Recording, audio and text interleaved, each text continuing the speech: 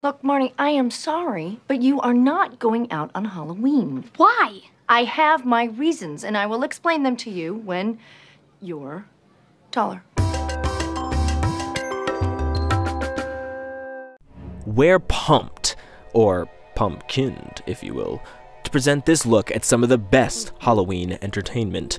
But be warned, if you're looking for nightmares on whatever street you happen to live on, you can just keep looking. You heard me. Run along! Because while we do realize that a certain decade spanning slasher saga that takes place on October 31st would be the obvious choice for a Halloween movie retrospective, we've decided we don't want to have to sleep with the lights on for the rest of the year, so we're gonna let ourselves get mired down. Or, should we say, Michael mired down. I'm sorry. In anything that makes us scream. For example, Scream. So, if you want a blood curdling breakdown of truly terrifying films featuring blade wielding bad guys, Academy Award winning monster makeup, and the kind of jump scares that will have you searching for a clean pair of underwear, this ain't that, okay? This is a Halloween countdown with heart. And not a still beating one, freshly ripped out of some unsuspecting teenager who actually thought it would be a good idea to go see what that noise in the basement was. Halloween movies don't have to scare the Reese's out of you to be fun. And so, submitted for your approval, a collection of spooky but not psychotic feature films, TV specials, and series episodes suitable for enjoying with even your littlest ghouls and goblins. Oh, that's so cute. This is no trick. Instead, we're treating you to our take on some of the most family friendly Halloween entertainment available. So, where are some of the best examples of Halloween entertainment? Here being on TV. Halloween themed episodes have been a staple of the television landscape since 1952, when America's Ozzie and Harriet Nelson brought the fictionalized adventures of their real life family of four to the small screen. The tradition continued through the 60s and 70s. Come October, the majority of the network's hit shows would get into the spirit. like, sometimes really get into the spirit in the late 80s, one sitcom took such an over the top approach to the spooky season, it made us all wish we could go trick or treating in Lanford, Illinois. Oddly enough, the first season of comedian Roseanne Barr's sitcom Roseanne, aptly named, didn't include a Halloween episode because, according to the show's star, the network head honchos thought Bible Belt audiences would disapprove. Boy, were they wrong. The show went on to pretty much define the concept of the Halloween episode by allowing the fun loving, blue collar Connors to celebrate All Hallows Eve in frightful fashion for eight seasons and in their own wacky, all out comedic fashion. The 90s saw even critically acclaimed shows like Freaks and Geeks and Dawson's Creek getting their eek on. More recently, TV comedies Brooklyn Nine-Nine and Modern Family took up the mantle, putting high priority on the quality of their Halloween episodes. Here, here, children, have some candy. Happy Halloween! Ah! Theatrical releases with a Halloween hook have always been something of an event. 1991's The Addams Family took its inspiration from the campy 1960s TV series, which took its inspiration from the comics of New York cartoonist Charles Addams. Hey, look! It's a young Christina Ricci!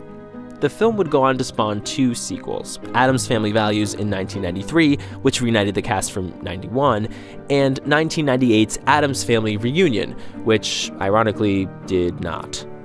Putting a family spin on the haunted house trope, Casper, a live action CGI mashup, was released in 1995. This semi spooky tween romance was also based on a cartoon, this time an animated short from 1945 hey, look, there's a young Christina Ricci again. Wow, she really likes these uh, spooky things. 2022 saw the welcome return of the precocious and peculiar Wednesday Addams, starring in her own self titled series on Netflix. The show was an immediate success, thanks in large part to the show's lead, Jenna Ortega. But the rest of the cast was stellar too, including Catherine Zeta Jones, Luis Guzman, Fred Armisen, and. Oh, hey, look, it's a. Um, Christina Ricci again! Apologies, I wasn't here to greet you when you arrived. Did we mention that episodes of Wednesday were executive produced and directed by Tim Burton? You know, the guy who gave us this holiday hybrid. The Nightmare Before Christmas is the cinematic equivalent of a bulging bag of trick or treat goodies. Meaning, you know, There's a whole lot of amazing stuff in there. From the stop motion animation to the Danny Elfman pen score to the voice talents of Chris Sarandon as Pumpkin King Jack Skellington, Catherine O'Hara as his love interest Sally, and Paul Reubens as Lock. But don't let the weirdness fool you. There's a brand of wisdom to The Nightmare Before Christmas that goes deeper than just the creepy aesthetic and moody music. Jack's story is about the responsibilities of leadership, touching on themes of looking beyond what you know and seeking new experiences. It's about exploring and being respectful of other cultures and ways of life while resisting the temptation to impose one's own perspective on them. Talk about good bones. the only thing spooky are these jokes, am I right? Coming in hotter than the burning rain of death. Summon the burning rain of death. Burning, burning rain of death. Burning rain of death. Is 1993's Hocus Pocus. Ah, yes. Hocus Pocus, starring the divine Miss M herself and the equally divine Sarah Jessica Parker and Kathy Najimy. This film is essentially perfect from start to finish, okay? Setting the standard for Halloween themed excellence and introducing an entire generation to the term Yabos. What do you call him, Max? Yabos? Max likes your Yabos. In fact, he loves them casting Hollywood royalty Garry Marshall and his sister Penny to play a quarreling couple was a devilish stroke of genius. And the Sanderson sisters' moderned up musical rendition of I Put a Spell on You is haunting in the best possible way. Here's a freaky fun fact. The real life black cat who played the reincarnation of teenage Thackery Binks actually had an audio animatronic body double, and it was the same robotic kitty used for the role of Black Cat Salem in the late 90s TV series Sabrina the Teenage Witch, starring Melissa Joan Hart. Ah, my heart. My heart. Even freakier and funnier fact 15 years later, Miss Hart's Sabrina was reincarnated in the form of Kiernan Shipka, who put a decidedly more spine tingling spin on the once winsome witch's lighthearted lifestyle in the 2017 revamp, The Chilling Adventures of Sabrina, which lasted only a short spell thanks to the COVID 19 pandemic. Anyway, back to Hocus Pocus. It's definitely a family flick, okay? The witches are sillier than they are scary, and there's a very, very happy ending. It's so cute. We can't help but wonder, though, how many unsuspecting parents were asked by their elementary school age children who saw the movie, hey, um, what's a virgin? Turns out it's a fair question, since the whole plot pretty much depends on the fact that protagonist Max is still very much in possession of his V card, as his little sister so proudly declares. What happened? A virgin lit the candle.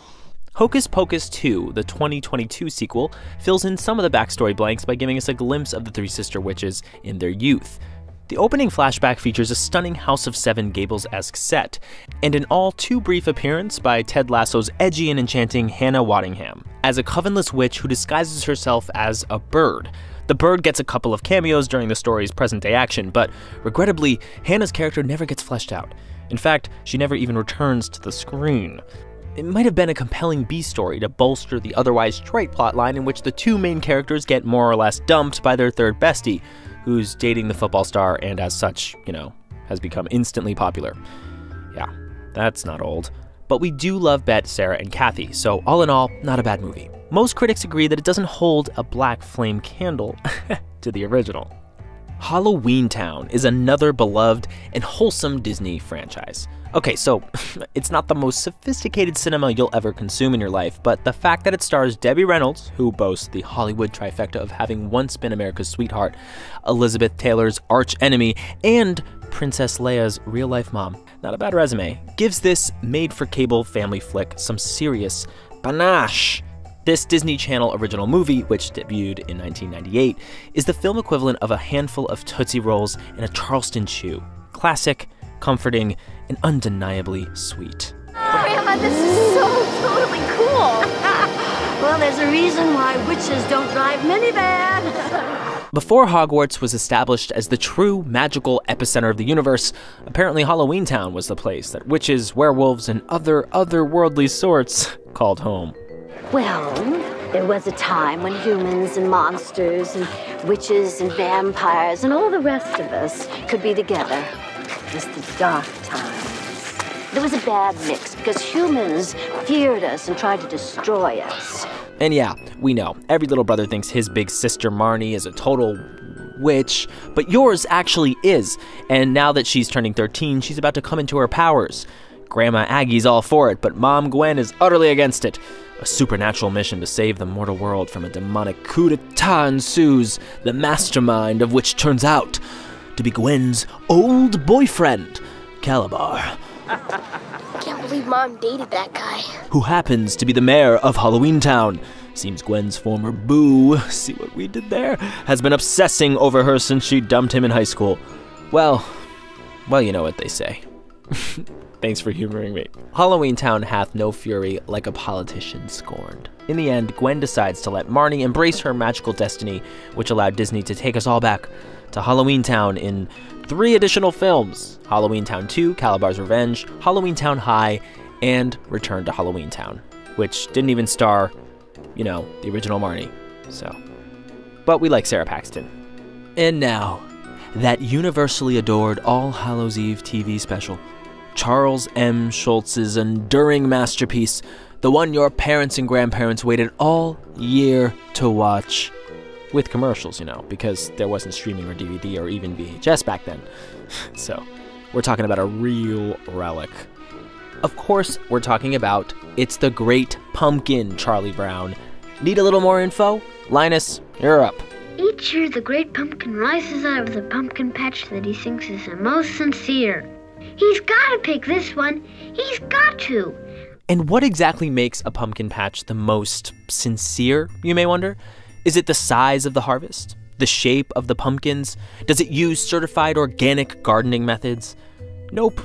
According to Linus, it's far more abstract than that. I don't see how a pumpkin patch can be more sincere than this one. You can look all around and there's not a sign of hypocrisy. Apparently, an absence of hypocrisy, it seems, was what the great pumpkin valued most. Which, you know, is an important lesson for any time of year. As sweet and iconic as this animated tale is, we'd be remiss if we didn't mention how truly unfit the Peanuts' parents were, okay? So, who sends a bunch of five year olds trick or treating without adult supervision? And hello, Mr. and Mrs. Van Pelt? Yeah, it's 4 o'clock in the morning, and Linus is still out shivering alone in a pumpkin patch, and Lucy's the one who has to go out looking for him. On the other hand, it is kind of heartwarming to see that despite being the comic strip's resident bully, when push comes to shove, Lucy's got her little brother's back. Aw. Clearly, Schulz understood character arcs. I don't understand it. I went trick or treating and all I got was a bag full of rocks. Halloween entertainment has many faces. Some are covered by hockey masks, others are slathered with white clown makeup, all the way up to their exceedingly prominent foreheads. If it's zombies, demons, and chainsaw maniacs you like, well, we totally get it. And Hollywood has definitely got you covered there. But if your post trick or treat tradition includes cuddling on the couch, streaming movies, or watching TV shows with the lovable little monsters in your life, well, we understand that too. Because family values is more than just the title of a Halloween movie. And the greatest thing about The Great Pumpkin is, well, course, that you can share it with your kids. Halloween is over and I've missed it! You blockhead! And that's our video. Thanks for listening, Tonglers.